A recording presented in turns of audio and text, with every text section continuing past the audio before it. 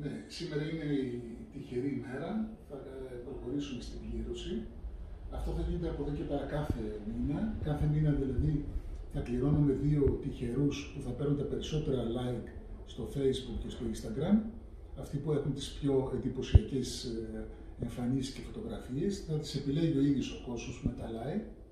Σήμερα λοιπόν κέρδισε η Ρουσουνέλο η Ρένα και ο Μαρακοδάκης Οδυσσέας. Αυτοί οι δύο δικαιούνται να κάνουν ε, μια πλαστική χειρουργική επανόρθωσης από το στρατή Γαβρίλ, τον αδελφό μου, τον πλαστικό χειρουργό.